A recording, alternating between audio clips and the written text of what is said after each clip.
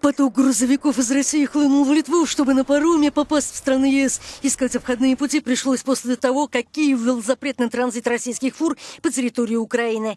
Это еще больше затруднило транспортировку, уже нарушенную из-за того, что Москва и Варшава до сих пор не пришли к соглашению по новым разрешениям на грузоперевозки. Они хотят добиться того, чтобы сами возить, а больше никто не возил. Вот и все, что тут понимать.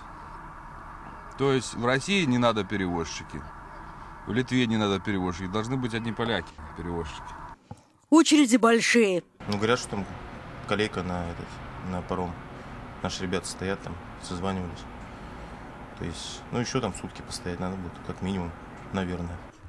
Что касается украинского коридора, на прошлой неделе украинские националисты стали блокировать движение российского транспорта. Первые блокпосты появились в Закарпатье, затем к акции присоединились еще несколько областей, расположенных на западе и севере Украины, в том числе на границе с Белоруссией.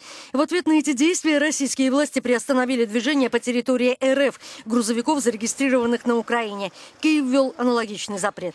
За двое суток на российско-украинской границе скопилось около 160 украинских грузовиков, в то время как российские фуры не могут въехать на Украину из стран Европейского Союза.